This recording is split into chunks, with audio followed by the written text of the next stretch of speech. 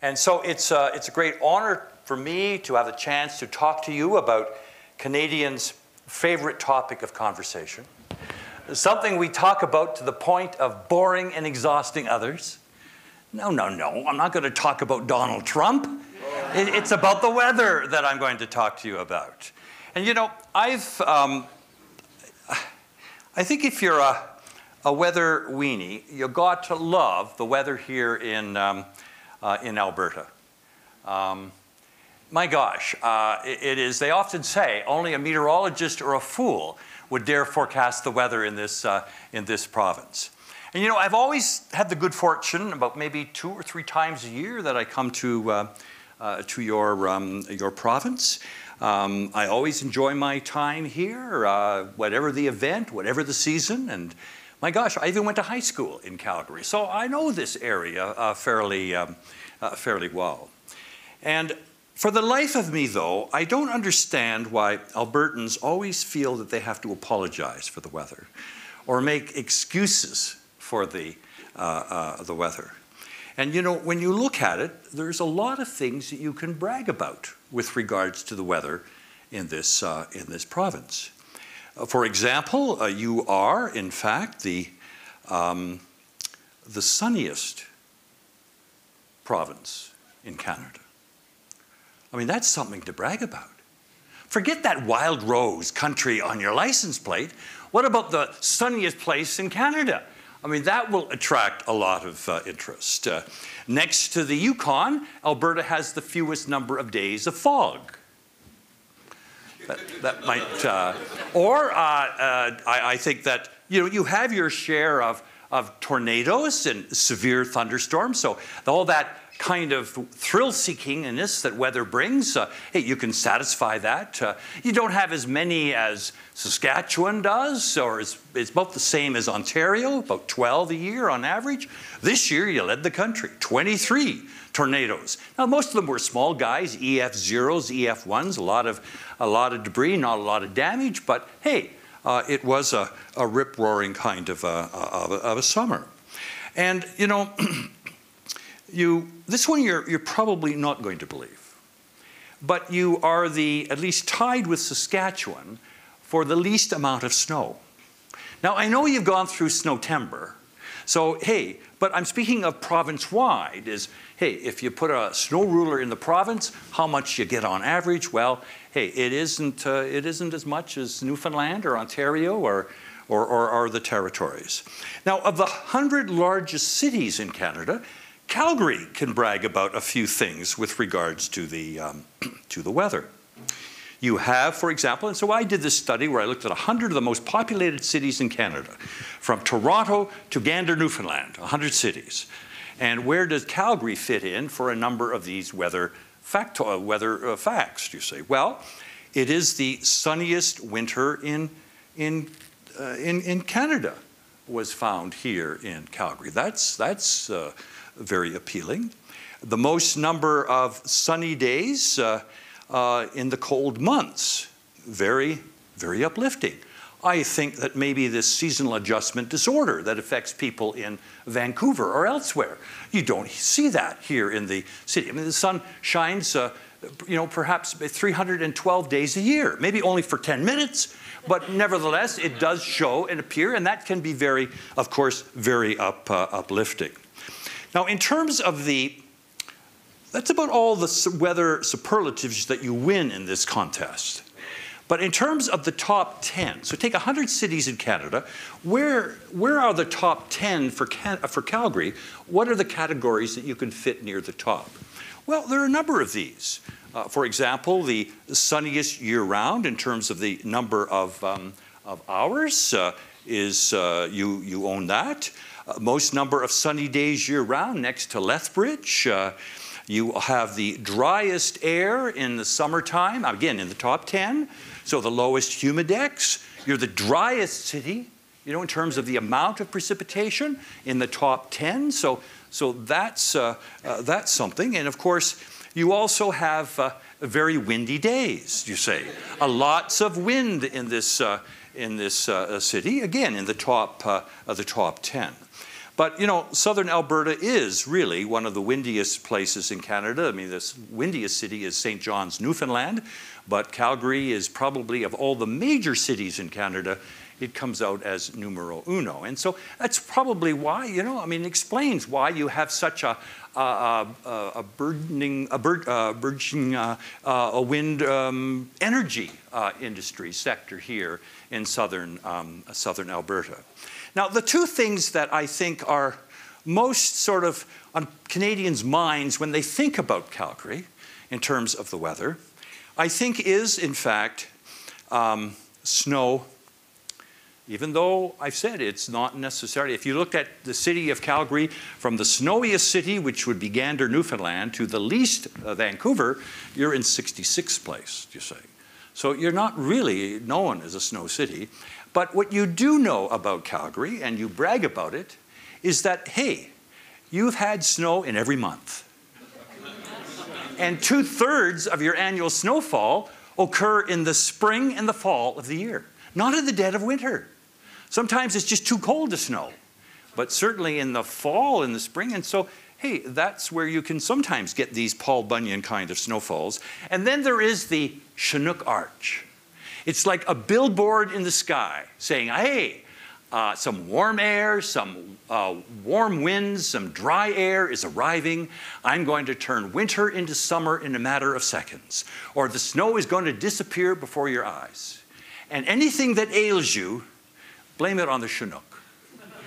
I have seen scientific reports on the incidence of migraine headaches in Chinooks or um, the divorce rate in Chinooks. Uh, in fact, I, I, remember once a woman said to me that, well, I explained the Chinook, and she says, well, I always know when the Chinook winds blow because our church choir sings off key. You know, I mean, it, it gets blamed for, for almost uh, uh, everything. Now, you know, in my job, I've had the good fortune to talk to thousands and thousands of Canadians, from Goobies, Newfoundland to Yo-Yo, British Columbia. Uh, and, I, um, and, and I like to talk to Canadians about the weather, and I try to engage them about the weather. And I kind of think I'm like the old snake oil salesman. You know, somebody that blows into town, I got a message to tell you, but before I do that, I've kind of got to sort of warm you up, kind of soften you up to get that kind of important message. So, you know, my song and dance, not that I have a song and dance, is, is weather stories. The truth be known, I'm more of a storyteller about the weather, or weather trivia, little factoids that's not going to save the world, but it might make you a hit at your next barbecue or wine and cheese party, to say. So let me, let me share with you a couple of stories and, and a couple of little uh, trivia. It might be the only thing you remember about my lecture here uh, uh, tonight. Well, did you know, I don't have any stories about it raining cats and dogs, but I do know it rained frogs in Calgary in 1921. And what we think was a water spout, a dust devil, picked up these creatures from a wetlands, carried them into the city, the winds died down, and it dropped all of these uh, uh, fresh frogs on 7th Avenue. And much to the delight of the local cats, because they, they tasted like fresh fish for them, you say? So, so that's something that you might uh, remember. But did you know, for example, that lightning hits men four times more often than women? Now, we like to think we're magnetic. I think we're stupider. or did you know that the average sneeze has the same force as a category two hurricane? Gives you a lot more respect for a good gesundheit when you hear one, you say? Or did you know that female named hurricanes kill twice as many people as male named hurricanes? and it's all in the name. You get a name like Adolf and Ivan or Igor or Attila, it's going to strike fear in your hearts. You're going to follow that evacuation route. You're going to board up your building, you say, and then you're going to head out of town. But what about a hurricane like last year? Debbie, or Flo, or Hurricane Patty.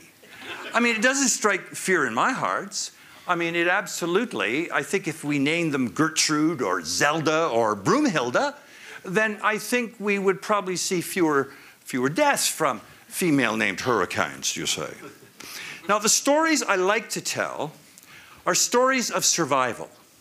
You know, our history is replete with examples of too variable a climate, too unpredictable the weather in this, um, in this country. Here are a couple of stories that you probably didn't hear about.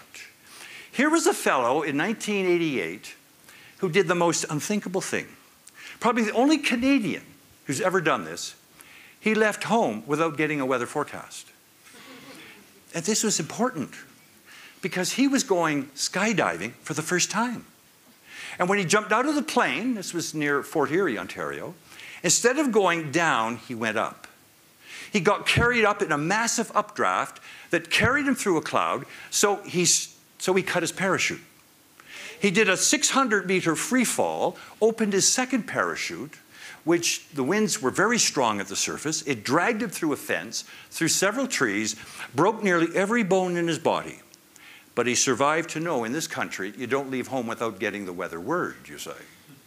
There was a farmer in Didsbury, Alberta, who defied all odds. He was hit directly by lightning, 10,000 times the power of the electric chair. He was hit directly by lightning and survived.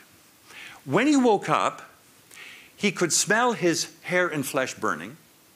His baseball cap was melted to his head. His shirt was gone. The only thing left on him was the waistband on his underwear that said Fruit of the Loom. But he survived a, a, a direct, um, a direct hit. Now, in 1967, it snowed in southern Alberta. 107 centimeters of snow in three days in April of that year. It was, as you could guess, it was catastrophic you had hundreds and thousands of, of newborn cattle perished. They suffocated in that storm. Uh, you had, of course, the transportation chaos that you'd expect in a storm like that. There was, uh, interviewed one um, snowplow operator. He said, You know, I was pushing this thing down the road for several kilometers before I realized it was a car. Now, it was unoccupied, but still, I mean, it was a pretty scary moment for him. And, and of course, um, uh, the military came out, the US military. They flew feed and fuel and, and, and food into southern Alberta that year. It was snowed in Calgary quite a bit too, but it was really Lethbridge that got the monster uh, snowfall. And of course, just to show you some good comes from, from bad weather, that year, the Minister of Revenue in Canada said that people in southern Alberta, including Calgary, didn't have to file their income tax for two more weeks, to say. So they got a little break in terms of the, uh, of the, um, uh, of the, of the time. Now, one of my favorite stories is here in southern Alberta, in the Pincher Creek area. And it was the heaviest snow in one day. And now it's not a record now 145 centimeters of snow, a place in northern British Columbia in February. This was in Livingston, Alberta. 113 centimeters of snow in one day. That was a monster Paul Bunyan snowfall. But it was when it occurred that was the most interesting thing. 1963, on the 29th of June. I mean, I think Americans woke up to find snow to the tip of their tent poles, wondering why they didn't go to Mount Rushmore for their summer holidays, you say. I mean, it tells you a lot about, hey, what our reputation is here in the, in, in the Great White uh, North. Now, Albertans have always, I think, been fascinated by the weather, always have been, and, and I'm sure always will be. And you've had a long uh, history of weather observing in this province. Well before it became a province in 1800s, Hudson Bay factors were taking observations of weather in this province for, for, for one reason. They wanted to know what temperature gin, rum, and brandy froze at, you see. And they discovered it, and they kept taking observations uh, even after that, you see. So, getting Albertans interested in talking about the weather is like asking you to, to kind of breathe in a way. I mean, you follow it, you gab about it, you write about it, almost it's going to run out. And of course, it does, only to be renewed by, by more, more weather. I mean, you follow the wind chill factor like others follow the Dow Jones average, you know? I mean, just the way you, you do things in this, um, this province. And I often say, if you really want to know the fickleness and the, and the many dimensions of the Alberta weather, just look into a Canadian's clothes closet. You have toque and snow pants and muscle shirts and tank tops, all nine yards. You have it all. I mean, you spend more money on clothes than probably anybody in the world. And not because you're fashion conscious, hey, because you have a lot of weather in this. And it doesn't matter how, how stupid you look when you dress up for the weather. You know, our, our GQ magazine is the Canadian Tire catalog, do you say here. Now, we often boast that we live in one of the safest and healthiest climates in the world. I mean, truly, my bosses never like me to say this, but there are more Canadians who die falling out of bed or die falling off ladders than die from the weather. And it's not that we have a gentle climate in this country. We are the flashpoint between cold air to the north and warm air to the south. And what is weather? Weather is when warm air dukes it out with cold air. It's like a battleground of weather uh, worlds uh, in the southern part of uh, Canada as the Arctic air beats it up with the, the tropical air, do you say? And so, we, in an average year in Canada, we, we get uh, uh, maybe um, two or three tropical storms. This past month or so ago, we had two tropical storms, Erin and Dorian, that did a, a hit on Maritimes, for example, in less than 10 days. Uh, we are the second most tornado prone country in the world. We get typically 60 to 80 tornadoes. Hey, we get a lot more than that. It's just that there's no Canadians around to see when these things touch down, you say? So we probably think we get three or four times that number, but it pales by US standards. But hey, we're still in, we're in, in, in second place with that. We have 3 million lightning hits, the temperatures that vary from plus 40 to to, to minus, uh, uh, 50.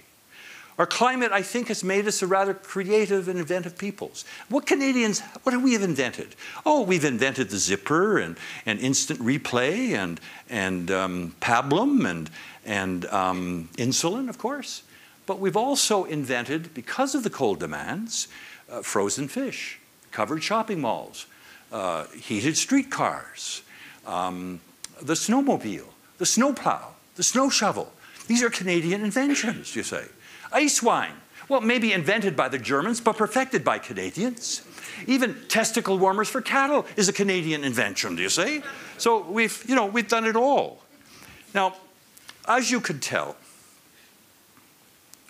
I've been around a long time. I can remember my very first media interview was on global television in the 1970s. It was a snowy and cold decade in the 1970s, all across Canada, across North America it was. And they wanted to know should we look to the north every moment, every day, to see if the ice front is a little closer? So, you know what? We've gone from the ice age cometh to now the overheated planet. And I've been around for both of those, do you say? Those occur in eons of geological time, and, and I remember both of them, do you say? So, hey, I know I've been around a long time. But, you know, I think that what I've seen in terms of our understanding of our climate is very different. And we've seen in the last 25 years or 30 years, I think we've seen a remarkable change in our understanding of it.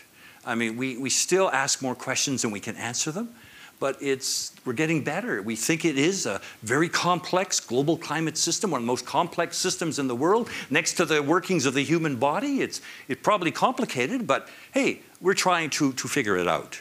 And what I think that has changed for me is that we've seen climate as being something that was hemispheric or global to now where it's local. And we know that things that happen locally matter more to us. I mean, climate change began to hit home when it started hitting our homes. I think we also see it as a subject that, you know, it used to be uh, uh, centuries or eons of time, now it's decades or shorter. You know, people will see a change in the climate even during their lifetime. you know, used to say, well, I won't be around for that. You see, it, it, it moves at the speed of a, of a tortoise. But now it's almost like a roadrunner kind of speed that what we, uh, we see with, um, with climate. And of course, it's, it's something that it seemed to go more to, instead of just averages, it's more about the extremes of weather. This is what people seem to be focused on. It seems to be more engaged with some of the results of, um, uh, of that, you see. And even I think the name has changed. We used to call it global warming, and now it's climate change, recognizing that it's more than temperatures that have changed. I think we'll, if we called it atmospheric terrorism, we'd have it nailed to the ground, you see. So, hey, I mean, we should maybe think about even changing the, the name further. But for me, the big change is that even the solution has changed. You know, we've come to realize that you know, for a while we just have gone and signed documents to in Kyoto and Paris and Copenhagen and Cape Town, and, and you know, they haven't necessarily gone anywhere. We've seen no results from that. But now people, what they're thinking about is maybe we just need to prepare for it. We need to build resiliency, to, uh, to, to kind of um, prepare for the, the kind of changes. And I think our lessons from, hey, the the Calgary flooding in 2013 or the, or the Fort McMurray fires in, in 2016 is that we're not prepared for the climate we've got, let alone the climate we're going to get. And so I think this has resonated with people, and they've, they've seen this, you see. So I think, ladies and gentlemen, what I think is the big change and why you're hearing Canadians saying, you know, it's top of mind, the weather and the weather change and climate change. You didn't hear that five or 10 years ago. But now it is the topic. It's not just because of the election that we had people saying this. They, they feel it's now. That I'm, when I talk to Canadians, they, they, they wonder what, what's happening and what we can do about it. And so this seems to be almost as if, and I think the difference is this people see what the change has been in weather, not in climate. See, climate, we plan for climate, but we experience the weather. When you look out the window, you don't see climate, you see the weather. Climate is statistical, it's academic, it's, uh, it's irrelevant to my daily life. But it's weather that I dress Johnny or Mary more warmly to go to school. It's going to interfere my barbecue on the weekend. It's weather that matters. And I think that we've come to realize that what we're really seeing here is weather change as much as climate change. If you change the climate, you change the weather. I mean, what is climate? Climate is the statistics of weather. And so it, it, it makes sense that people have awoken to the fact that, wow, I look out the window and I can actually see climate change because the weather is weirder and wilder and, and wackier. And in recent years, I think the Canadians have said to me that something seems to be amiss it's not the weather of my youth. What we're seeing is that we seem to be, you know, cursed and clobbered and, and a lot more, a lot harder and more often in recent years. It's like the stuff of Hollywood catastrophes, hailers, deluges, ice rains, super typhoons, weather bombs. Uh, you know, as Dan sort of listed the, the almost the, the litany of this, of this kind of misery. And you see, for Canadians, we used to think that we were immune from this. This stuff occurred on the other side of the world to a society different than ours. We used to think 100 year storms occurred every 100 years, you say? And, and so, what I think is happening is that it's not as if the past was more predictable, but I think it was more foreseeable than in recent years. It's almost as if we live in this kind of bubble of what climatologists call this sort of you know, uh, range of natural variability, or what I think we really understand it is familiarity with our weather. And in that, you had storms occurred, extremes occurred. It was unfortunate and it, it hurt people. And, but, but now what we're seeing are some of these events are occurring outside of our realm of familiarities. You know, summers are, are not always hot anymore. Winters could be, could be warm and, or cold. Or, um, you know, we're, we're seeing these events like, you know, there's, there are more surprises. And so these things are occurring, and we don't have necessarily the tools to handle them, to deal with them. And so I think that that's what we're, we're seeing with regards uh, to this. And at the same time, you know, our infrastructure, which is built primarily in the 50s, 60s, 70s, and early 80s, is not ready, is not prepared, is not able to handle these. What we're seeing is our, our, our, our flood-proofing mechanisms are, um, you know, are not, not up to, uh, to scratch. Uh, uh, our sinkholes are appearing in our highways. Our bridges and rivers are, um, are cracking. Uh, uh, we're seeing, in fact, uh, um, our sewer pipes and, and, um, and, and um, are, are leaking. And, and, and I can guarantee you, even in Canada, in the developed world that we are, I can guarantee you right now there are probably 600 communities that have boil water advisories, you say in Canada, you say. So 50 or 60 years ago, you know, when engineers and architects and planners would design our infrastructure, the climate was stable and static and, and dependable. And no, things performed the way they would. You got 100 year storms every 100 years. So the, the stuff worked. The culvert that you built fit. The bridge that you connected two routes was you could design it to 100, stand 100 years, and hey, it, it, it probably worked, you say. But what we're seeing now is our climate is different. It's not sort of, it's new, it's changed, and yet that same infrastructure, we're still sucking off of it, and maybe, maybe it's not working as much as we did. And no region has in fact been spared. It could be you know, east or west or province or territory or north or south, nobody has been sort of left in the, in the cold. For me, and you know, I've been in the business over 50 years, as Dan said. I've seen a lot of weather. And, and I think for me, the defining moment was the, the, the um, Saguenay flood in 1996, our first billion dollar weather related disaster. More water fell on the Saguenay that weekend than would flow over Niagara Falls in two months. And then came the ice storm from hell in eastern Canada, from Kingston to the Bay of Fundy. More wire and cable came down in that particular storm that would stretch around the world three times. And for four million Canadians, it was a storm of a lifetime. This past weekend, when they had those, all that power outage in Quebec, people were comparing it to the ice storm of, of, um, of, of 98. And, uh, and again, it was, I was probably the busiest of my career on that particular occasion. Um, and I was to answer questions from the media from around the world, not in Canada, but around the world. And the two questions that were most asked of me what's the big deal? Montreal and Ottawa have never looked more beautiful they do now. Of course, freezing rain can do that to you. Underneath that glaze is a lot of misery. And then, secondly, what could possibly bring Canadians to their knees? You're known as the winter weather people. If you can't handle it, nobody could, you say? And, and you know, so that's what the interest was. That same year in 1998, in the winter of that, the beginning of the winter of that year, I was probably the second busiest of my career. Environment Canada launched a research balloon. This is a, not a weather balloon, but a research balloon to measure the rarefied gases in the stratosphere the ozone layer and, and other, other gases. And it was a very successful experiment, a 15-story balloon. And it had instrument package, and it sampled the air, very successful. Scientists were very happy. And then something embarrassing happened. We went to jettison the balloon from the instrument package, and the balloon took off. And it drifted across the country. And people were phoning, where's the balloon today? I sensed they were cheering for the balloon. It was like the big balloon that couldn't. It went across the North Atlantic. It scrambled transatlantic flying for two days. We asked NATO to come out.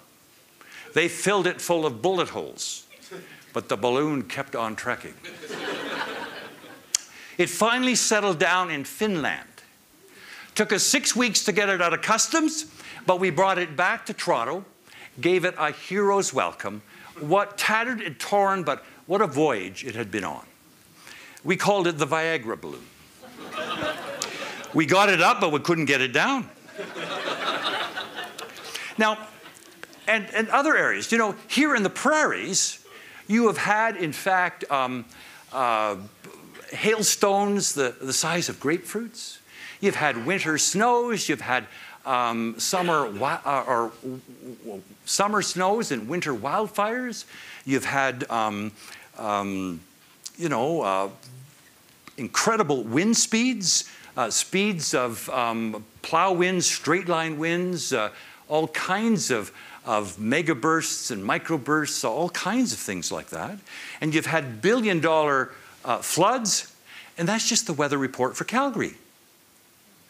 I mean, I think it's, it, it clearly is. I, that superlative I've, I've used in the past, the, the, the, the, the most expensive disaster in Alberta's history, I've had to amend it five times in the last 10 years.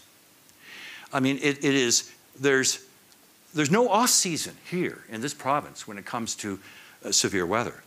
And, and let me share just in the last few years some, some of this misery, hardship, and misfortune that is affecting the, uh, uh, uh the weather.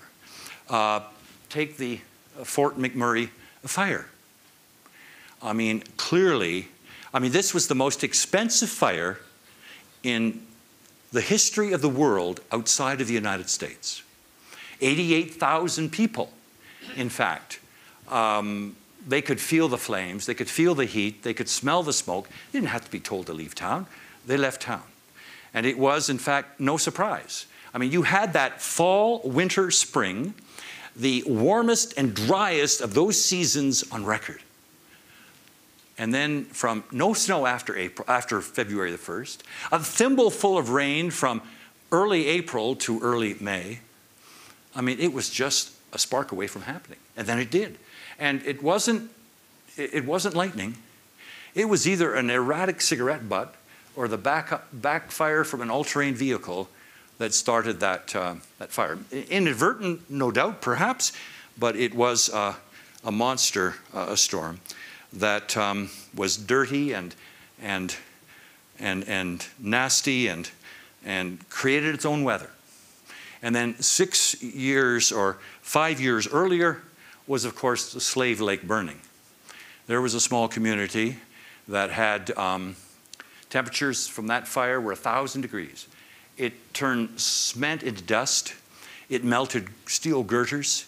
A third of the community was incinerated by that particular um, wildfire.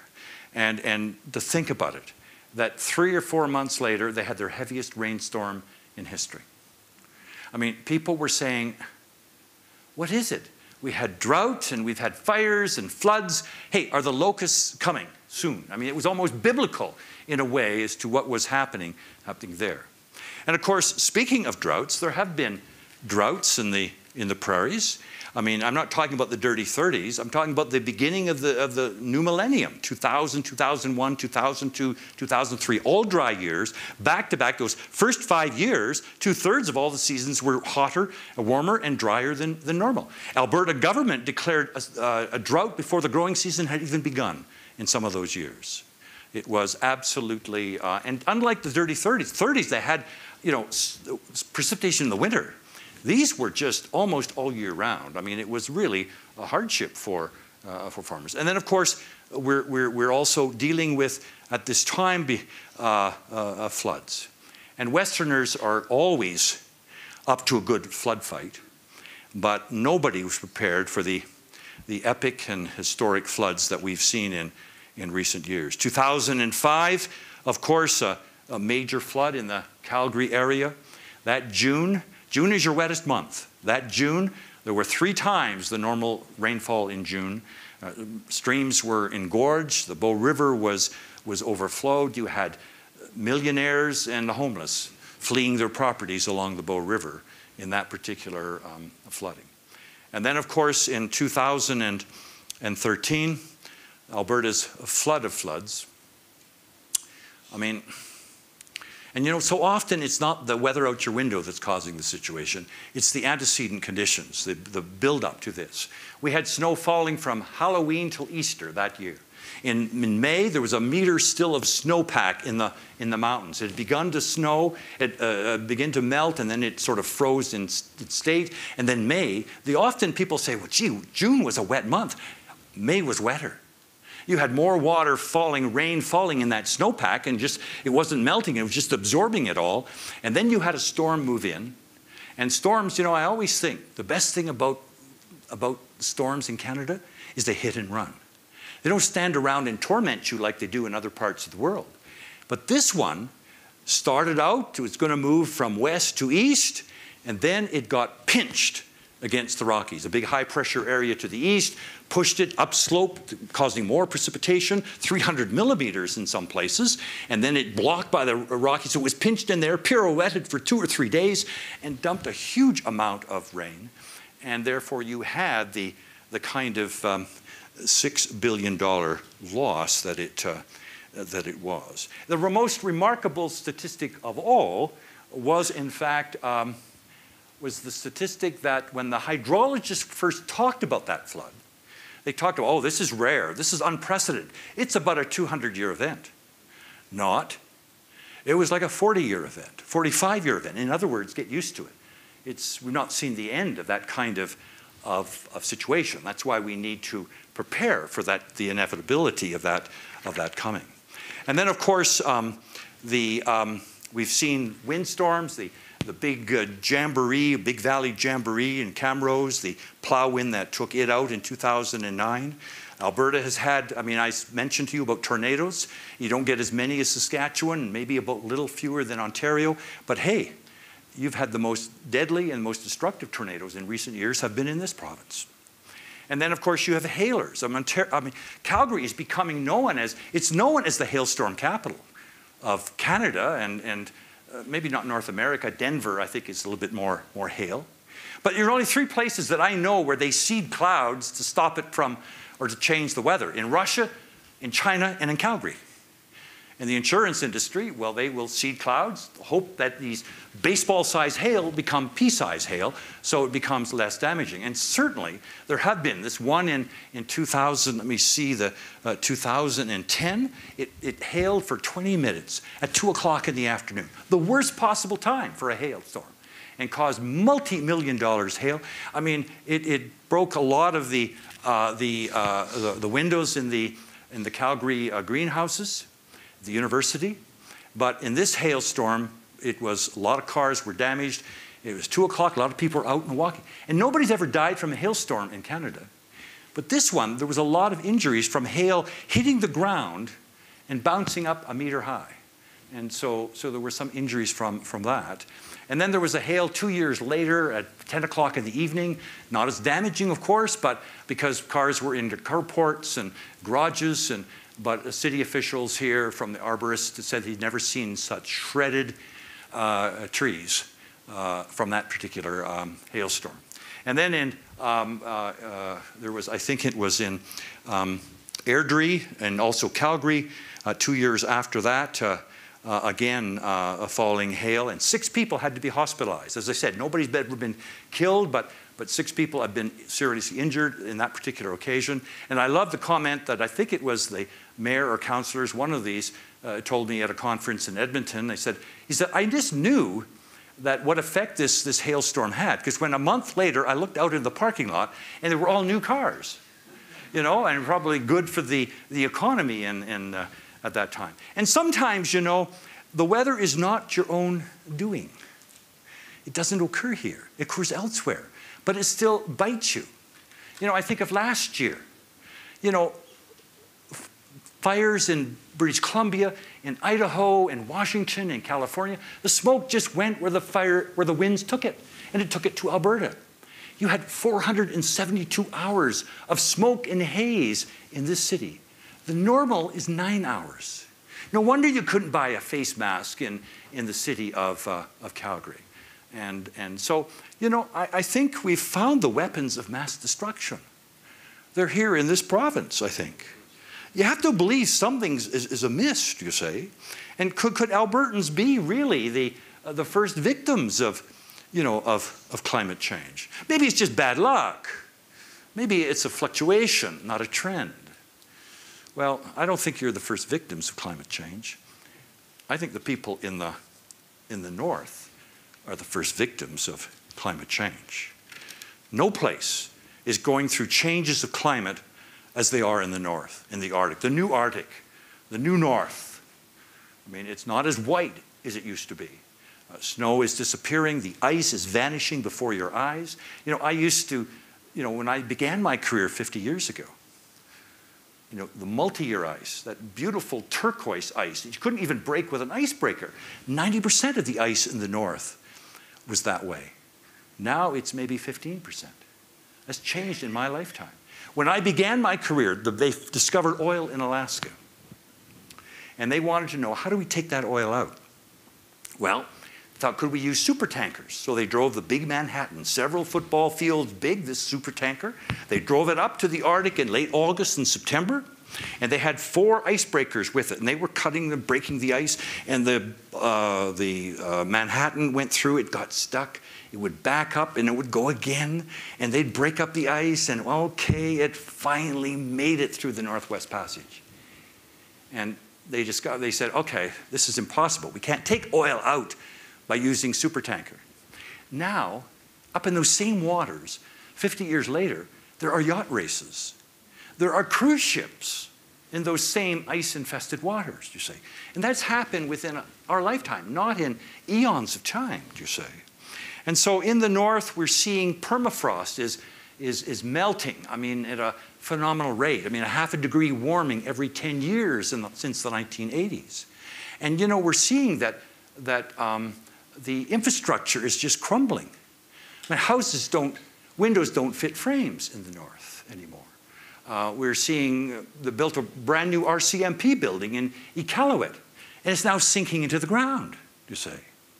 And, and you know, you can't build ice roads anymore. This is the, the, the, the, the lifeblood of the northern people. I mean, they're seeing changes in hunting and fishing and, and, and moving and, and, and uh, and, and just um, existing and building, and yet it's changing like never before. Elders can't read the ice. There's more search and rescues going on in the north because the ice seems very tricky. Tricky for the, for the Aboriginal hunters and fishers, but also for the walruses and, and polar bears too. It's tough to navigate those, those moving ice floes, you say. And so even the living world, I mean, the Inuit had to hold a conference about I think eight years ago, to come up with new words in the Inuktitut language for dragonfly, barn owl, cougar, uh, magpie, uh, red foxes.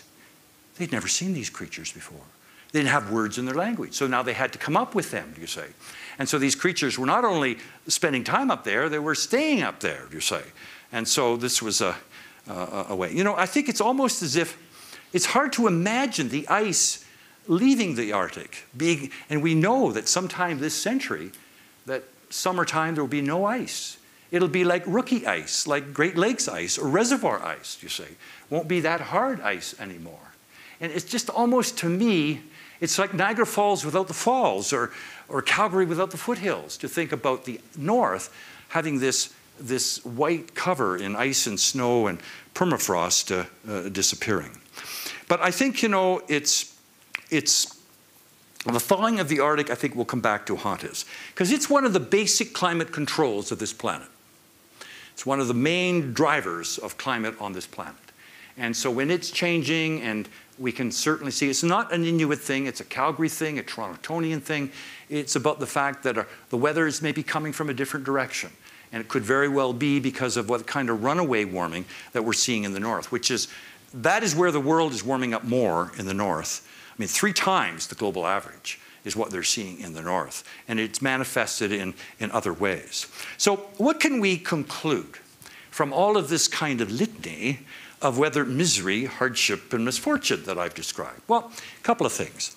We first of all have to recognize that this is not something that's happening only in Bangladesh or Botswana or Bolivia. It's happening in Banff and Bassano too. It's our own backyards. We're seeing this kind of, of, of change of, of, of weather extremes and this, this concern. We're breaking records at a phenomenal rate. I like to break records. I'm a climatologist. But this is like not just hitting a home run, it's like hitting the ball out of the ballpark. You know, I used to be excited by a tenth of a degree or a half a millimeter.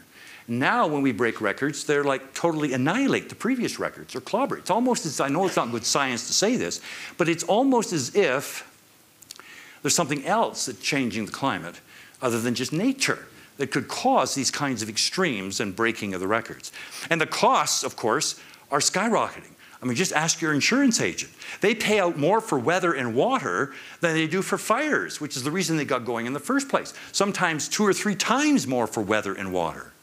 And, and, and, and, and clearly, governments are concerned. Governments used to treat extreme weather like snow removal budgets. You know, you don't factor it in. Some years you win, some years you lose. But now, because it's affecting our balance of payments, our economic indicators, they can't afford to ignore what we're in fact uh, seeing. There's a fund in, in Canada called the um, the Disaster Financial Assistance Relief Fund. It's what the federal government pays to communities when they suffer disasters. They could be human caused, could be um, bombings, or they could be train wrecks, or they could be weather or, or geophysical events, but they get in there and help to people to clean up and, and get life back to normalcy. Well, they've paid out more for weather and water in the last six years than they paid out in the previous 39 years. So we clearly know that something is, is, is different now. And probably the biggest change of all, I think, is in corporate Canada. You know, in boardrooms that people are talking about climate. You know, in the 90s, it was looked upon with a certain suspicion, a certain skepticism. But now stakeholders and shareholders are asking their companies, not do you believe in climate change, but what are you doing about it, you say. So I think there's been a new move, a, a really a, an impressive and encouraging move by corporate Canada to, uh, to get on with it and, and, and recognize that it is a, a threat, a challenge, and, and also an opportunity. I think it's all three of those, you say. So what is behind this um, increase of of weird and wild and, and wacky weather? Well, I think it's important to realize we're not seeing any new weather. You know, I think if we had new weather, like typhoons in Tofield or, or you know, monsoons in Manyberries, well, I think we could say, okay, we fundamentally changed the world's climate and weather. We must be doing something. But no, it's the same old weather as our grandparents had. What's different is the statistics of those weather, that weather has changed. The frequency, the intensity, the, the duration. As I said, I think earlier, that, you know, our, I always think the best thing about Canadian weather is that it hits and runs. Now weather is taking its sweet time. It's raining on Thursday and still raining on Saturday. It doesn't, it's more time to spread its misery, so it has greater, greater impacts then. Uh, we're seeing it more widespread. We're seeing combination of things. It's not just big hailstones, it's big hailstones blowing with strong winds that will just triple or quadruple the damage during those particular um, things. And it's not something that, you know, it's sort of almost as if it's not just inconvenient or a little bit of disruption, it's catastrophe when it seems to happen. You know, it used to flood an intersection. Now it's flooding basements, you say. So there's, there's more, more, more to it, you say. And, and so I think that's of, uh, of, uh, of concern. And you know, if you even increase the, it's kind of interesting. If you increase the risk by, say, 10%, or the, the extreme by 10%, you often increase the damage by 50 or 60%. So that wind speed that you'd get that takes the root or the tree out of its root ball but add 10%, it takes that tree and pushes it against a car and a building, and of course the damage goes way up. So even a little bit change more in the extreme will have a huge economic impact uh, later on. So there is something else though that has, has truly changed too. And that is, it used to be in the weather business, what was important is how much rain is falling from the sky. That was important. Now, that's still important, but now what you want to know is where is it falling? What is the surface that it's falling on? Because it has a different impact when it falls on a different kind of, um, of surface. Because, see, what we've done is we re engineered the planet. We've degraded our environment to the such that same old weather has a different response now. Uh, you know, we're, we're cutting down trees and not replacing them. We're taming rivers. We're straightening uh, uh, uh, rivers. We're reclaiming land from the sea. We're building dams and reservoirs. I'm not against that, ladies and gentlemen. I don't want to go back to wooden sidewalks and dirt parking lots. But the reality is that in 100 years ago, there were no dams in the world over 14 meters, and now there are 40,000. So no wonder the great rivers are mere trickles by the time they, uh, they enter the, um, uh, the sea. And so, and we also see landscape changes. We see on the prairies, for example, we've drained the swamp. I mean, somebody's drained the swamp, and we have or drain the wetlands. You have these in eastern prairies, you have these potholes, dugouts, and sloughs, very much part of the natural drainage of that area created at the last ice age. I mean, half of the landscape is full of potholes, dugouts, and sloughs in eastern Saskatchewan and Manitoba. And now we think progress is filling those in, draining them, building skyscrapers, turning it into agricultural land. And so then when it rains, you get a flood. The potholes, dugouts, and sloughs used to look after that. But now it creates a massive flood and you have issues from, from that. And then the other thing, too, is that urbanization. It's the fastest growing land use on this planet. Doesn't represent a large category of land use, but it's major. I mean, there are more people now in your, right now living in cities than in rural areas for the first time in human history. And that's likely to increase, it's over half now, probably two thirds by the estimate they 2050 or 2060. And Canada, my gosh, we, we're, strange in the sense that we have the lowest population density, but the most urbanized. I mean, 85% of Canadians live in communities of over 10,000 people. So we're very urbanized in this country, you say? And you know, what happens is that when you turn that, that urban space, that, that when you turn nature and that woodlots and wetlands and wildlands, and you turn it into parking lots and strip malls and clover cloverleafs on highway, you change the way that water drop is affected and it falls to the ground. You know, we call it the Walmart effect. You know, it rains on a grassy knoll. It takes eight hours for it to get down to the groundwater table. On a parking lot, it takes eight minutes. So no wonder you are dealing with a different response to that same old weather. Even if the weather hasn't changed, it's going to have, it's going to absorb and store and release water in a different fashion than in some of those events of the past. So, you know, I think flooding is a, you know, is a, is maybe an act of God, but I think in many ways floods and flood disasters are an act of, of humankind. And we create our own vulnerability by putting our infrastructure and ourselves in harm's way. But I say, even without climate change, these little weather hits of the past would become major, major blows. Now, something else has changed. You know, maybe we're just educating more people about the weather. You know, when you educate people about the weather, you get more weather. And with social networking, with people taking holidays to chase storms, people doing some crazy stuff, looking for storms and excited when they catch them. You know, I mean, there's nobody left out of this, you see. I mean, it's just absolutely, there seems to be more, the world seems to be smaller. You know, we're seeing more of these things in, in different locations. So maybe it really isn't new, it's just the fact that we're more aware of it, you say. So that's an important uh, uh, uh consideration. Um, and, and 1-800 numbers. I mean, Environment Canada is sort of contradict, you know, in a way, I'm not proud of this, but we say on one side of our mouth that, okay, tornadoes bearing down on you, seek shelter, members of the family and the pets, get them into shelter, low places, and, and, and wait it out. Uh, but if you happen to take a picture of it, send it our way, you say. uh, you know, I mean, we like that evidence, but my gosh, you know, we, we don't want to put ourselves at, um, at, at, at, at risk. And then, of course, there is the, the media. The media love extreme weather. It's riveting, it's photogenic, it's gripping. I think there's more violence on the Weather Network than any other channel, you say. And you know, I called it storm porn. You know, it's this notion that we see these things happening, these timbers impaling cars, these uh, summer homes falling in the sea. I don't think we want bad things to happen to people, but you know, I think we're in awe of nature, you say. And, and there's no question about it. There's no far off places anymore. And you'll get that atmospheric paparazzi, Anderson Cooper, who will stand in water and tell us not to stand in water. Because they, you know what? They know it beats Seinfeld and Simpsons and the Wheel of Fortune in the ratings every night if you can bring in wild and woolly weather, you say. And, uh, and so there's that issue. Maybe it's just because the one thing that has changed is that we have changed, you and I. Society has changed.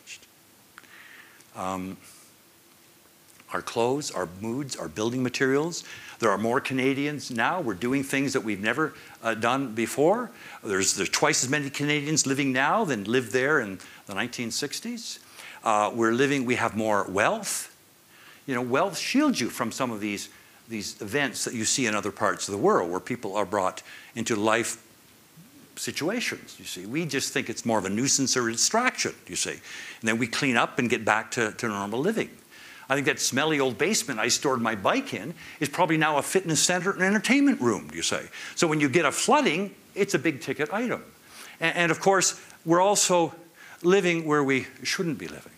We live in the floodplain, in the avalanche zone, in the forest area that could be burning up, or in a, a, a um, uh, and, and, or by the sea. I mean, a third of the people in the world want to live within 100 kilometers of the ocean. These are graveyards in the waiting. There are more risks and greater targets when you live near the water. You know, even if the storms aren't stormier, the water is higher and, and there's more, more inundation. But of course, ladies and gentlemen, there's something else that has changed. It is the, our climate has changed. There's no question about it that you can't get scientists to agree on anything. 98% of scientists believe that the world is warming up faster and greater now than it has in a long time, and our fingerprints are all over it, you say. Um, it represents thousands of scientists in royal academies and institutions and, and, and, and governments and, and, and universities and, and, and many governments around the world, except the US government. And, and they're entitled to their opinion, but not to the facts. And the fact is that the world is, in fact, warming up. It's um, last year, the 42nd year in a row, that the world has been warmer than the long term average. Somebody who's younger than 42 years old has never lived on this planet during a cold, planet wise, global wise, a cold month or a cold year. And we're seeing that probably 20 of the warmest years on record of 130 years have occurred in the last 22 years. So stick a thermometer in the planet and it is showing warmer times. And it's everywhere, from the depths of boreholes to the tip of the stratosphere. And natural factors cannot explain this kind of warming. If you took all the natural factors, the physical drivers of planet of the climate on this planet, the sunspots, the solar radi irradiance, the Earth's sun tilt, the, the oceans, the volcanism, we would have probably seen in the last 35 years modest cooling instead of runaway warming. So, hey, the new agent of change, and, and it's, of course, uh, what we mean by that are um, our people. And certainly Canada has warmed up in, in twice as much and half the time as the globe. We see it on the prairies. We see it particularly so up there in the northwest part of Canada, on the uh, northern uh, British Columbia, the Mackenzie, the Yukon, where it's warmed up more in the last 70 years than it has warmed up in the last 120 years since the last ice age. And so they've seen dramatic warming there. On the prairies, here's how we've warmed up on the prairies. We see winters aren't what they, they used to be. Old timers are right about it. Uh, winters are, you know, an average of 3.6 degrees in the last 72 years warmer. Then the springs, and to some degree, the, the summers and the falls. Now, what about Calgary? How is it fared? Well, I think one of the beauties of Calgary weather is you've got a long, good record at your airport. 135 years. It's gold. And it's probably, I know you've got landscape changes there, it's still fairly not tainted by urban effects so much, but it's pretty well in the same location in the last 135 years. So you can build a time series and, and make some sense of how the, the city has gone in this. Now it's a little busy, but let me just walk you through it. So if you took all of the temperatures for 135 years, winter, spring, summer, and fall, and you graph them from 1885 uh, to the, the present, you see that this is the kind of, that green line is the kind of, of trend that we have, uh, have seen. So we've seen uh, Calgary is warmed up by 1.5 degrees in that period. Hey, that's more than the global average, but less than the Canadian average. So, so that's interesting. But most of it is one season. It's, here, here's the, um, uh, the mean daily temperature in January. You see almost a, pardon the, the, the, scale here is a little different in the different uh, slides. But I would say about a five degree warming in the last 135 years from the winter point of view. But in the summer, less than one degree. So, so that's what we learn from, from the, the city of, uh, of Calgary. But what's interesting, it's not that Calgary's hotter, it's less cold. Sounds gobbledygook, but let me explain. If we take a look at, um, at days with hot temperatures. Now, a day with hot temperature in Canada, I would describe it as 30 degrees. But I don't see many of those in Calgary. You might get four in an average year. So I took a, a different threshold. I looked at 27 degrees. So how many days in, in a year would you get on average of 27 days where the, or, or days where the temperature would exceed uh, 27 degrees? And here is the, here is the graph. In 135 years, I tilt my head, I squint my eyes, and what I say is that there's fewer now than there was 135 years ago. And it's true. And I think the reason for this is probably really not very statistically, I think it's not significant, but it surely shows you, I think you don't, you're not imagining this trend. It seems to be less now. A lot of variation, though, of course. But I think it's a little bit more cloud cover, more humidity, which restricts the sun from beating down and, and warming the surface in a dramatic way. So that's why I say it's not that you're warmer, but in fact, you're less cold. Look at the number of what I call cold nights. These would be temperatures below minus 25 degrees. You typically, on average, get about nine of those now, but back there 135 years ago, there were like 24 of them. So you've seen a dramatic difference. I don't think it's urbanization. I think it's clearly, and this is the what we see globally. What really has warmed up is, is, is, well, it's really the next graph. It is, in fact, the minimum temperatures. Now, I know this doesn't seem dramatic. Minimum temperatures above 13 degrees at night, what we call tropical nights. Now, this would be comfortable in Toronto. I'm sure it's comfortable here, but I had to pick something. So, and I took 13 degrees, um, would be, I think, a little tossing and turning, a little bit more uncomfortable, but nevertheless, it tells me that what we've seen, particularly since the year 2000, we've seen almost a doubling up of those number of, of hot nights. And that's what kills you in a heat wave. We had 68 people died in Montreal in 2018 because of that of nighttime temperatures. Now, there are a lot of sociological reasons too, but the big heat waves of Europe in 2008 or 7 or 8, when you had 40,000 people that died, was mostly of nighttime temperatures.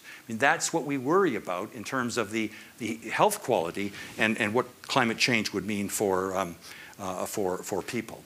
And in terms of precipitation, hey, not really much of a change. I don't think. You see that? Uh, Precipitation is always a tough to, to wrestle any information out. That's why we use it more for looking at regions or large areas, and we can get some sense of how the precipitation changed. A lot of missing values, so it sometimes doesn't work uh, so well. But hey, what we do see is an increase of snowfall. And it makes sense. When you warm up temperatures by one degree, the air can hold more moisture. So if your winters are warmed, they are in fact holding more moisture, and so there's more likely you're going to get a heavy dump of snow. And I think that Calgary now gets probably 25 to 35 centimeters more snow per year than they did back at the, at the turn of the, um, uh, of, the, uh, of the century.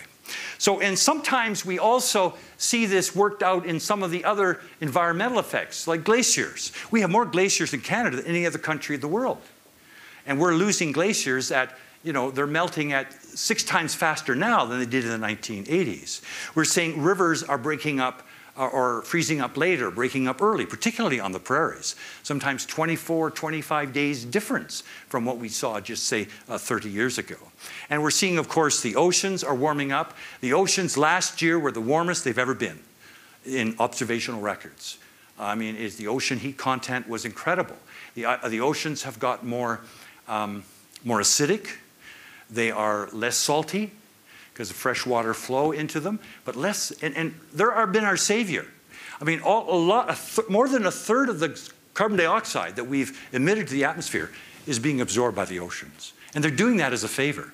But as they warm up, they're going to absorb less gas. And so, hey, we're living on borrowed time there. So, so that's a, a, certainly an issue that we have to look at. I always think that, you know, it's, I always think, well, nature gives you a clue as to what's happening. You know, um, I always think the last species to know about climate change are people. We wait for the big black cloud to hang over us, and then we think, oh, it smells like rain. Well, already animals and plants and weeds and insects and birds and have, have already been uh, moving and adapting and trying to, to find new, uh, new, new, new uh, habitats, you see. I mean, what could be more Canadian than the maple tree? Certainly in eastern Canada, we're seeing the sugar off dates of the maple tree. 80% used to occur before, before 1980, before or after the first day of spring. Now 80% are occurring before the first day of spring. We're seeing magnolia trees growing in Fredericton and Sault Ste. Marie. We're seeing tulips in Parliament Hill growing six days earlier than they did 12 years ago. I predict in 35 years that Ottawa will be holding their tulip festival in Winterlude on the same weekend, you say. So, hey, that's probably where we're, um, uh, we're headed. And then, of course, you have the, uh, the deer tick. I don't know if it's a problem here in the east, in the west. It certainly is in the east. Physicians are very worried because of an instance of Lyme disease increasing uh, tremendously, and very worried because the little deer tick used to not survive our winters. Now it is not only surviving, it's thriving. And Avril Lavigne has a very serious case of Lyme disease, bitten by a deer tick in her home north of Toronto, you say. So it is a, it's a real issue that, uh, that uh, physicians, as they say, are worried about. What we're seeing are our fires. I mean, what could be more I think one of the worst natural disasters we've seen is the disappearance of the lodgepole pine in British Columbia and to some degree in Alberta. I mean, we are seeing this little rice-sized vermin is gobbling up all the forest because it's, it's hotter and drier in the summertime and warmer in the wintertime. You know, in 1950s, what kills this little guy is, is cold temperatures. In the 1950s, that decade of 1950s, there were 48 days in the center part of, of the, uh, of the uh, British Columbia that you had days below minus 35. So that, that would be enough to kill it. In the last 10 years, there have been three days. So it's just a different climate, and so therefore it survives, has more time to multiply and, and spread its, uh, its misery. And ecologists are, uh, of course, we have these, these interface fires. And then you have ecologists are concerned because, you know, bees are arriving and flowers aren't open yet. Or that um, birds are flying from the south, uh, triggered by daylight, moving to the north to nest, and where the bugs up there used to be bug meal for, or uh, for, the, for the new birds. And in fact, what's happening, they're hatching because of weather, warmer, and therefore, in fact, what they're doing is uh, uh, annoying the, the mother sitting on the nest enough to fly away, and it's, it's creating issues uh, there. So I think that I don't have any more time to give you more examples of the kind of, of living world changes or adaptations to the kind of changed climate. But I think that clearly I suggest that you look into your neighbor's backyard tomorrow morning and you will see ample proof that we're living through warmer times, you say. now, why should we worry about this? I go to Edmonton or Winnipeg, Saskatoon, I talk to people there, I say, I've got some bad news. Your winters are going to be five degrees warmer. And they say, could you make it 10 degrees? We live in the second coldest country in the world, next to Russia. We live in the snowiest country in the world. What would be wrong with warming it up a little bit? And it's true. I think if you did a cost benefit analysis, there's probably some more advantage to warming it up in the short term, maybe 15 years. Save money on our home heating bills, don't have to necessarily go to Hawaii or Arizona to get away from winter. I mean, there, there could be some, some clearly some some positive things, I suppose. But it's not really, you know, it's not slushier winters and earlier springs that will beat us up. It's really extremes of weather. You know, when you warm up the world, for every degree you warm up, the air holds 7 to 12% more moisture. So you're going to get a heavier dose of rain when it chooses to rain. And so, and it's not nice, slow, easy increments. Sometimes this can be unleashed um, all at um, all at once, you see. I don't know how many storms of a century you lived through. I've counted three in my lifetime. And so, so we're, we're seeing these kinds of changes. And then, of course, there's also um, variability, this wild swings in the Joker deck. It's like, you know, summers used to be hot, and, you know, you, there, you could figure things out. There were no surprises. And now I've had farmers say to me, you know what, David, I could have had, you know, um, uh, drought insurance and flood insurance in the same growing season. I mean, not 50 years apart. You know, I mean, it's just like, and you know, when you average the, the two extremes, you get normal. But you don't live it. You actually, and so you're seeing these kind of almost jokers in the weather deck, this, this weather whiplash, this, this 180 degree changes. It's not normal weather anymore. It's, you know, we base everything on normal. You know, we build hospitals, we plan our holidays, we plant trees and crops based on normal weather. People aren't greedy. Just give me what my parents had or my ag agents told me we should expect. And now it's like a crapshoot, you see. It's just one extreme to the other. And, and how do you deal with that? How do you, all our plans and strategies are based on normal weather. And what we're seeing now is that, hey, things don't seem to be happening in a normal way. We're all geared up to handle the normal, and yet, hey, these things are out of whack, out of different. I think we're, we're messing with Mother Nature. I think she's ticked off, really. In fact, she's told me so. now, what about the future? Let me give you a forecast for, for here. Um, really three words warmer, wetter, and wilder. I think Canadian scientists have said that, you know, if we cut back on our emissions, that, hey, to zero, which I think will never happen, to zero in 2050, then, hey, we'll warm up by three degrees by the end of the century in, in Canada. That's more than we have now, but it seems manageable. So take the warmest period you ever remember. And in fact, in 50 years, that'll be the coldest. I mean, that's what we see happening, both night and especially night and also day. What we also see is water problems. Too much water sometimes and not enough water other times. Chronic and acute water problems. We see a little bit more precipitation, 10% maybe more, but not nearly enough to match the increase of temperatures and the evaporation. So we'll have water shortages. So more, it'll be weather wars, I think, will be fought on water. President Bush said the, the biggest discussion between Canada and the United States in this century will be on water. And, and, you know, I can see it between provinces too. Are you sending enough water down from the north and south Saskatchewan that reaches Manitoba to satisfy their needs? So I think these are, these are, are big issues. And then, of course, we also have, we think, wilder weather. We're not sure how much. The models are not, too, too not, very, are very, not very rigorous, they're very coarse. We just know that weather, in fact, um, is going to be, um, the conditions that produce wild weather will be more prevalent. The storms that are hitting us now are going to be bigger and, and badder and more impactful, more super type storms, because we know the conditions are, are going to, to uh, encourage that. Now, let me, let me look at um, Calgary and give you a sense of what Calgary will look like when um, these, these young people are, are grandparents in this, uh, in this fair city, to say.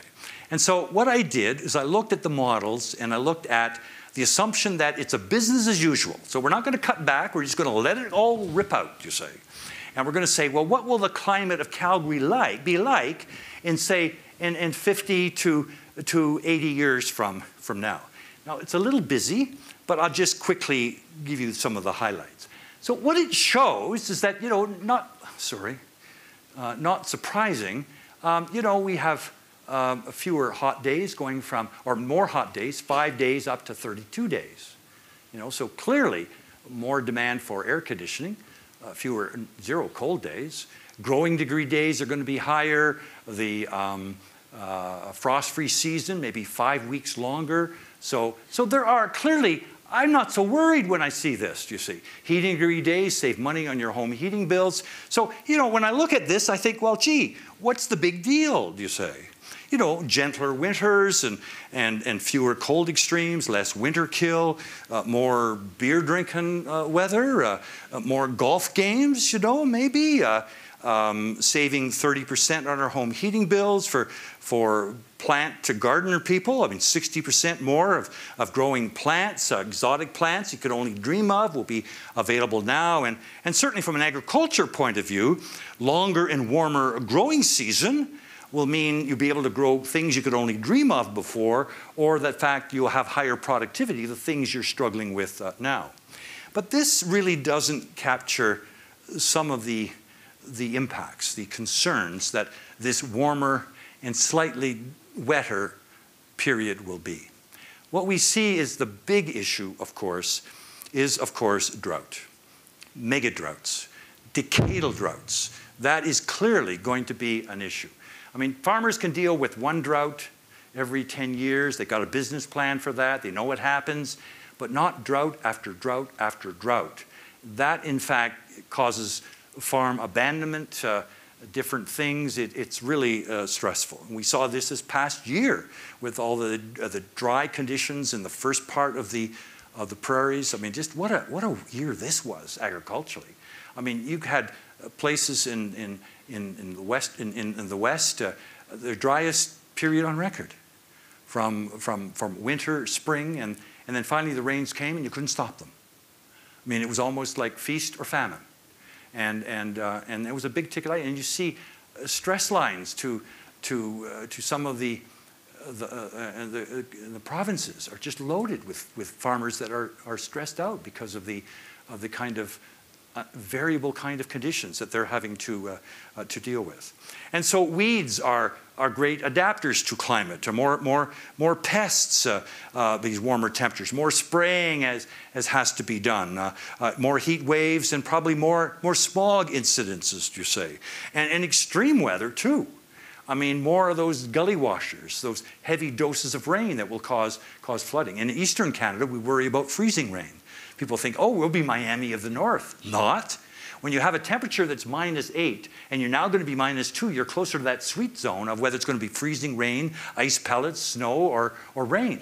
And so you're going to get more of that freezing kind of, uh, of stuff. Uh, uh, more powerful uh, tornadoes and weather bombs. And, and, and these kinds of things are, are all in the, um, in the offing. And, and certainly, one of the greatest tragedies, I think, will be the, the empty landscapes.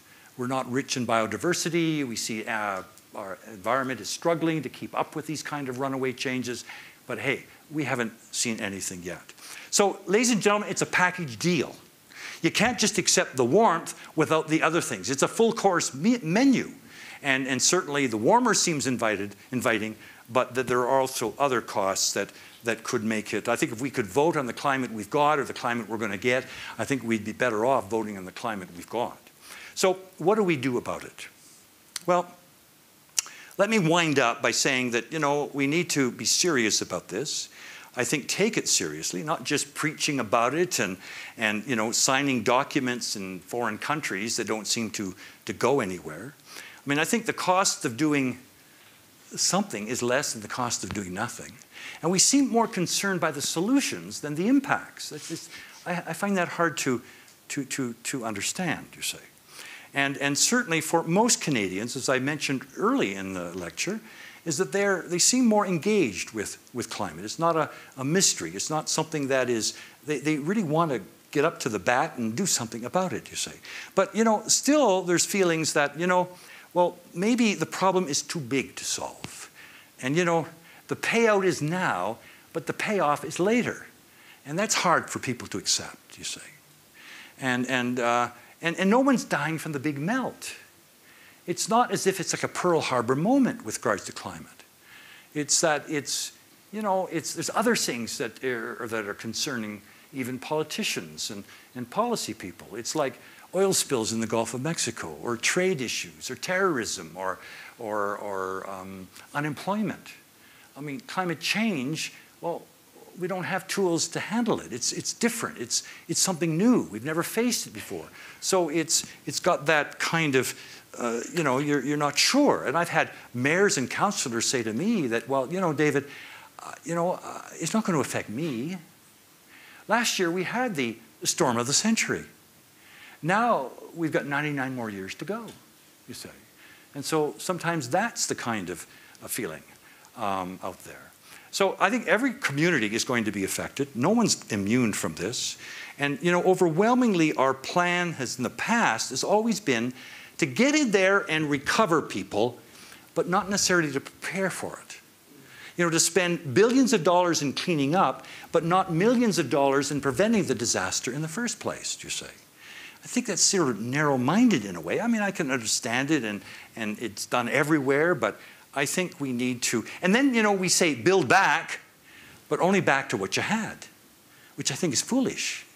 You know, we need to encourage build better or build quality when you're forced to build back because you're going to be hit again, you see. And why not build better to withhandle, handle the kinds of extremes that are even going to get uh, uh, uh, uh, uh worse? So, so clearly there's that issue. I think we need to move from that culture of disaster recovery to one of of risk preparedness.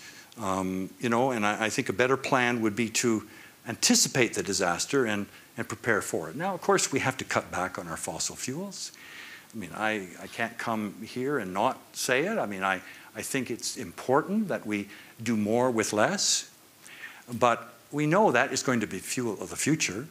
We're not going to go cold turkey on this we clearly uh, don't have a plan to, we think we can re, you know, engineer our way out of it, technological fixes or scientific fix that will come up with a magic bullet. Hey, I don't see any progress in that, and certainly I think I'm not as hopeful as some people might be that we see, uh, in fact, a fix. So what I focus on is to say, okay, we've got to do more. We've got to do more with less. We just can't trade it and bury it, but we've got to actually show that we're, we're, we're buying some time. I mean, because this is the reality of it if you grounded all planes and stopped all traffic and plugged all smokestacks, the future is still warmer. Because the residence time of CO2 is measured in centuries. So you're going to have to scrub it out somehow, I guess, and I'm not sure what that's going to be.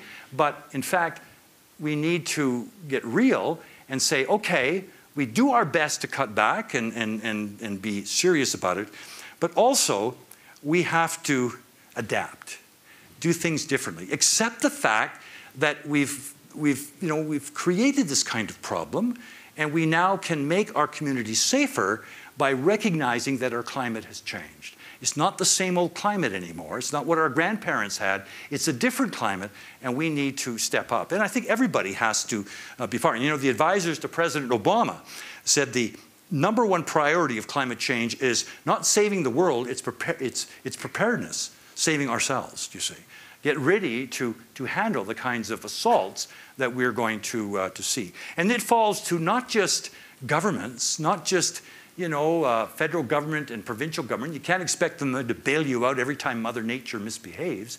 It's going to fall to individuals too individuals around their homes and their, their neighborhoods, they have to do things differently. And Blair Feltmate today in a, in a talk uh, this after at lunch hour, a brilliant talk about solutions and how individuals uh, have the responsibility. And there's things that you can do around your home.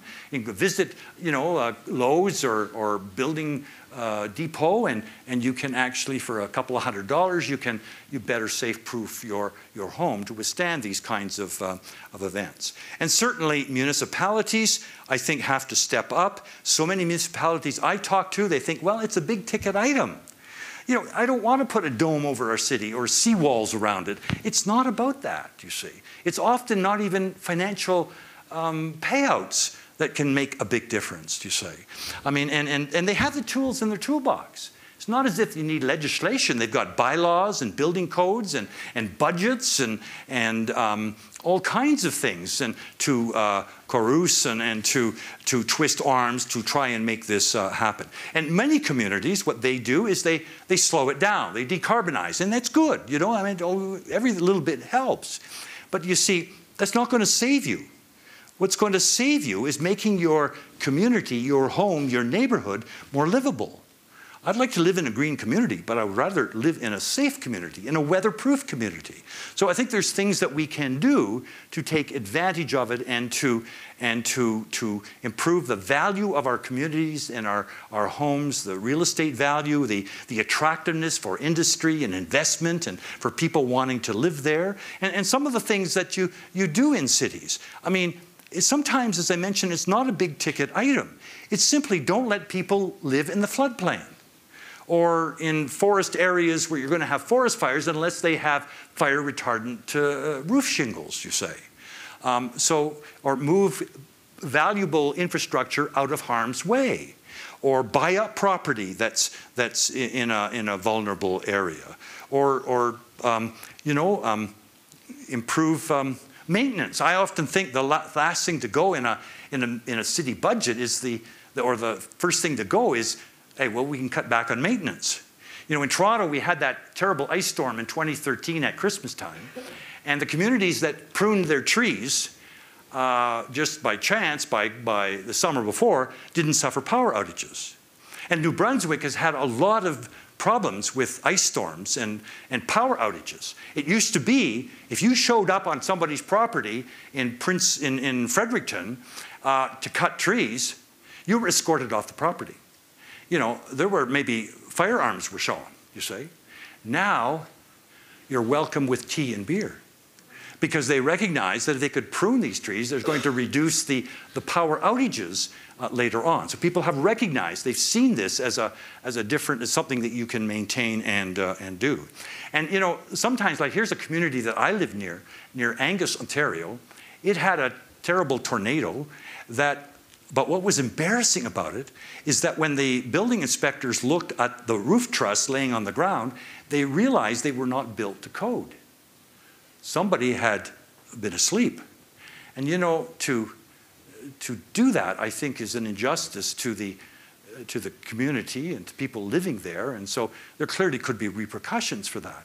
And you know, developers, you have to sort of, they have to be convinced that, you know, for example, putting six nails six inches apart in roof truss instead of a foot apart, or putting on 75 cent hurricane straps will double the strength of that roof in a windstorm. I mean, it's things like that. We, as Blair said, we focus more on marble countertops and less on, on you know, um, you know, uh, uh, backwater valves, you say. And, and, so I think we need to be smarter um, in, in what we, um, uh, and what we do. So, in conclusion, let me say, ladies and gentlemen, well, that last one's an important one. I think it's nature. We have to return nature to the city. I mean, nature, we've always used nature to help us get over some of the tough weather that we've dealt, and yet we think its progress is destroying nature, getting rid of it.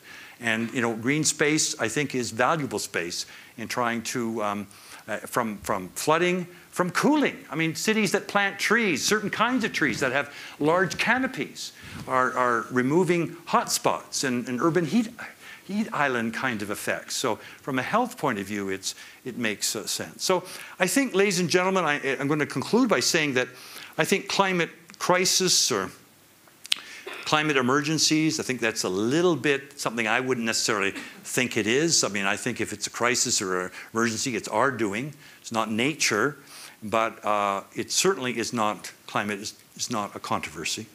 I think it's climate change. What might we do about it might be in dispute, but not the, the science of it. The science is solid and, and strong and compelling. Um, it is not fake news. It's not a fantasy. It's not a murky forecast. It's, it's serious. It's always been like that and always will be. It's not just about skinny polar bears and it's about human health. It's, it's all of these things. And I think that what is important to realize is that what, and I was part of the team that came up in uh, 30 years ago when we've had our first forecast of what our outlook of what Canada will look, look like when it's 150 years old. And you know what? We got it right. The only thing we got wrong was the sea levels. Nobody saw Greenland and ice and Antarctica melting as much as they did, and so sea levels have risen higher than it was first uh, suggested. But it's not we're just fine tuning it. We're, we we, we need more science, of course, but hey, it's not going to change the direction. uh, we clearly know where we're, um, uh, uh, where we're headed. And all regions are affected, all sectors, um, and our motivation for doing something about it, as I often preach, is based not on what we've seen, it's based on what we're we're going to see. And this is not, I think, a fight against climate change. Rather, it's showing us how we can live better with the climate we've got and the climate we're going to get. Thank you so much.